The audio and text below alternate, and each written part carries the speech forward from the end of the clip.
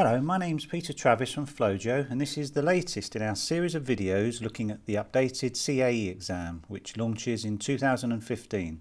Today we're looking at part 1 of the Reading and Use of English paper, the multiple choice cloze exercise. Okay, here we have an example multiple choice cloze task taken from the CAE handbook. This is the CAE handbook for 2015. As you can see the task contains a short text with 8 gaps with an additional gap at the beginning that serves as an example.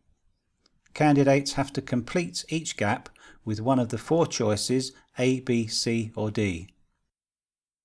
As you can see there's an example at the top with the highlighted word conventional being the missing word.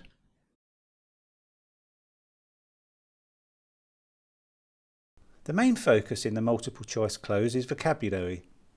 Various aspects of vocabulary are likely to be tested, but in general you should focus on learning chunks or set expressions rather than simply individual words. Let's look at some examples of chunks.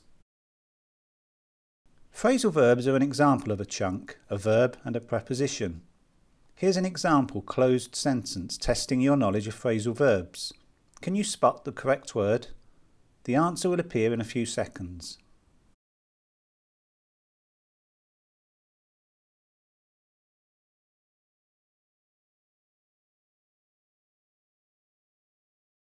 Other common idiomatic expressions might appear in the text with one of the words gapped. Try this question for example.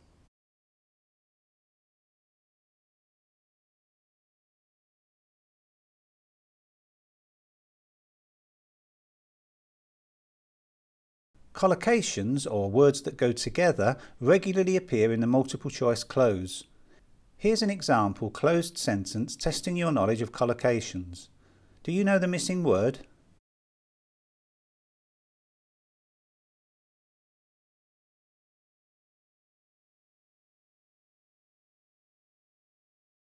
Occasionally a linking word, or what's sometimes called a discourse marker, will be the gapped word, such as in this example.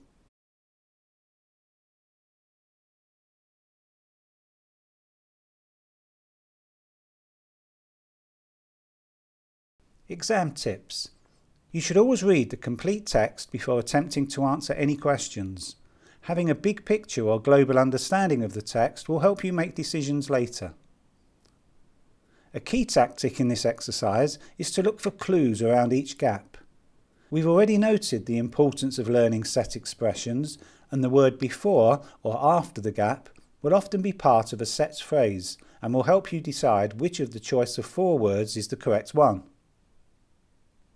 If you find it difficult to make a choice, eliminate those you know are wrong, and if necessary, make a guess as to the correct answer. You might be lucky.